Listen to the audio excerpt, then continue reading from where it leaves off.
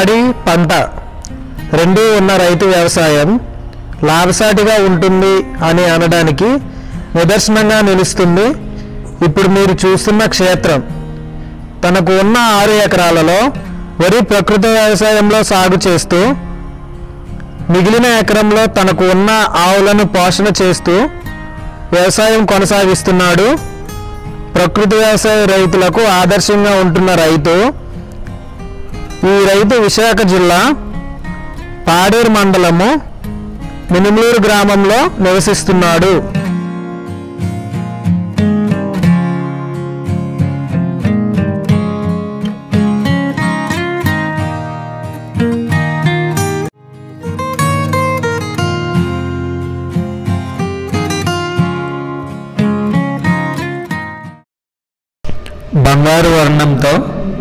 ఎండిపోతున్న వరి పొలాన్ని పరిశీలిస్తూ ఇటుగా వస్తున్న రైతు బొంజుబాబు ఈ మొత్తం వ్యవసాయానికి రూపకర్త.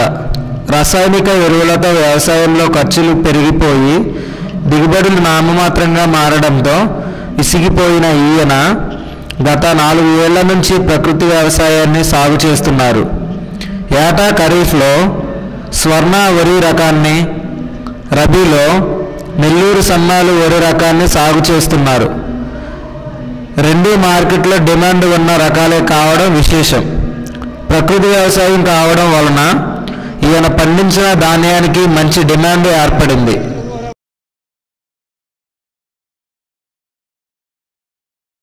అందరికీ నమస్కారం. ఇంతకుముందు నేను రసాయనిక ఎరువులతో వ్యవసాయం చేసేవాడిని. ఇలా చేయడం వలన విపరీతమైన ఖర్చు పెరిగింది పంట దిగుబడి తగ్గింది. పంటకు అంత చిక్కని జబ్బులు వచ్చేది. అగ్గి తెగుళ్ళు పొడ తెగుళ్ళు ఆకుమచ్చ తెగుళ్ళు ఇంకా చాలా తెగుళ్ళు వచ్చేవి. నా దగ్గర ఉన్న డబ్బంతా పంటకు పెట్టుబడి పెట్టేవాడిని. కానీ దిగుబడి వచ్చేది కాదు. చాలా విసిగెత్తిపోయి ఇంకా ఎరువులు లేకుండా పంటను పండించలేమా అనేటువంటి ఆలోచన వచ్చింది. అదే సమయంలో మా గ్రామంలో ఉన్నటువంటి సిఆర్పి వ్యవసాయ అధికారిని కలిశాను. వారు ప్రకృతి వ్యవసాయం గురించి చెప్పారు. నేను ప్రకృతి వ్యవసాయం చేయడం మొదలుపెట్టాను.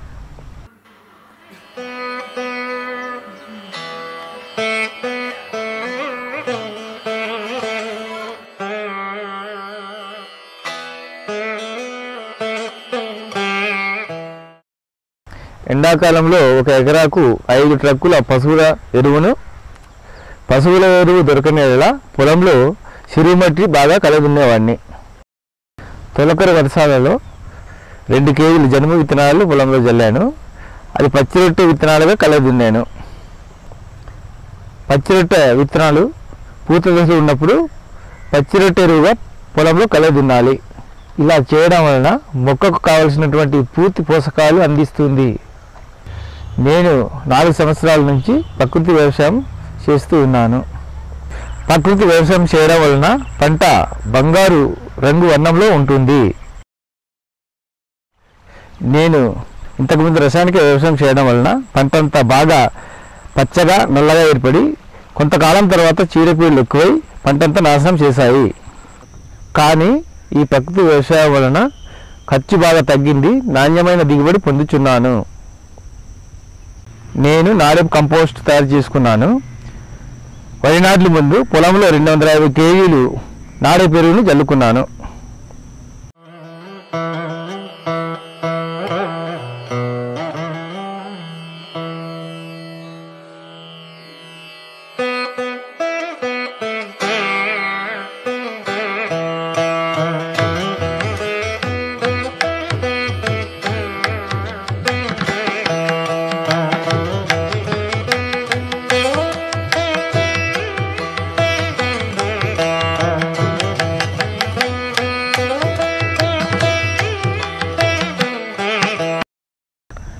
అలాగే నాట్లు వేసిన ఇరవై రోజుల తర్వాత రెండు వందల కేజీలు కంపోస్ట్ ఎరువులు జల్లడం అయింది అలాగే నలభై రోజుల తర్వాత కూడా రెండు వందల కేజీలు ఎకరాకు కంపోస్ట్ జల్లడం జరిగింది. ఈ నాడే పెరుగులలో ప్రధాన పోషకాలే కాకుండా సూక్ష్మ పోషకాలు చాలా ఎక్కువగా ఉన్నది. దానివల్ల నా పైరు చాలా ఆరోగ్యవంతంగా ఉన్నది. నాకు నాలుగు ఆవులు ఉండడం వలన డాక్టర్ సుభాష్ పాలేకర్ గారు చెప్పిన స్ఫూర్తితో ఆవు మూత్రము ఆవు పేడ సేకరించి జీవాంతం తయారు చేస్తున్నాను. పంట పొలంలో ఉపయోగిస్తున్నాను.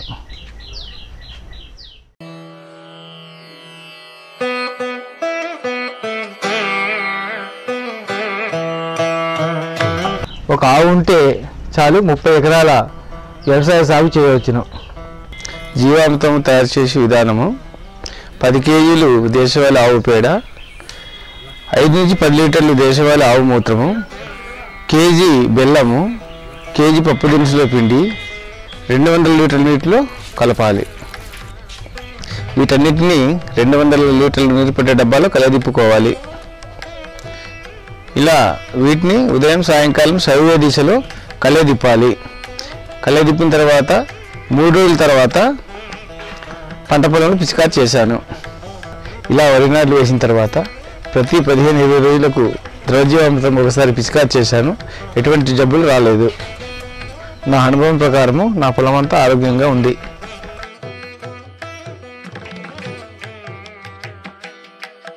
అక్కడక్కడ పురుగు పట్టినది అనిపిస్తే నీమాస్తమో బ్రహ్మాస్తమో అగ్నాస్తం పిచికారి చేస్తాను.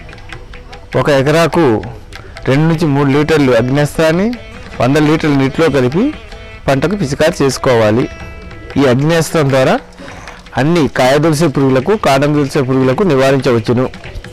సూడిదోమ నివారణకు రొటపిస ఆకు ఐదు కిలోలు పది లీటర్ల నీటిలో ఉడకబెట్టి ఆ ద్రవణాన్ని పంటపై పిచికారి చేసుకోవాలి. ఇలా చేయడం వలన సుడిదోమ నివారణ అవుతుంది. ప్రకృతి వ్యవసాయం చేయడం వలన నా పొలంలో దుబ్బులు పిలకల సంఖ్య చాలా బాగా పెరిగింది. వ్యవసాయ అధికారులు మరియు ప్రకృతి వ్యవసాయ సలహాదారు విజయ్ కుమార్ సార్ గారు కూడా రావడం జరిగింది.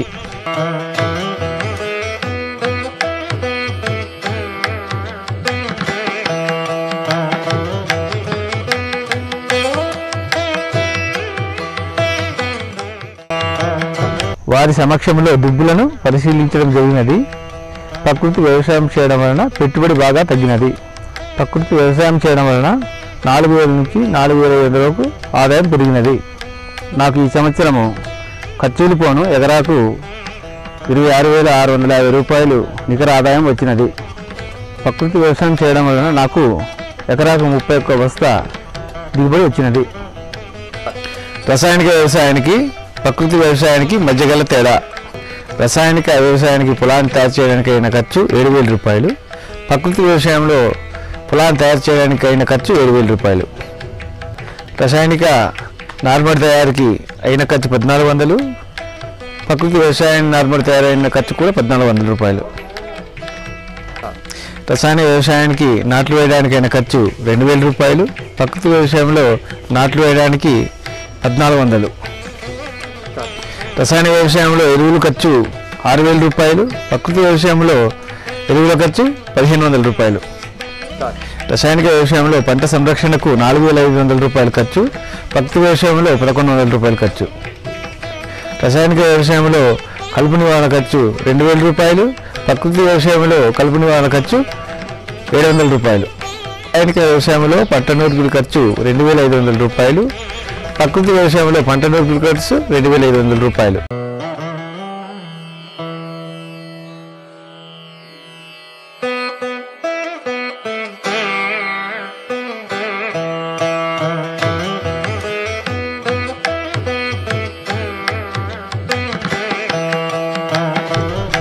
మీకందరికీ నా ధన్యవాదాలు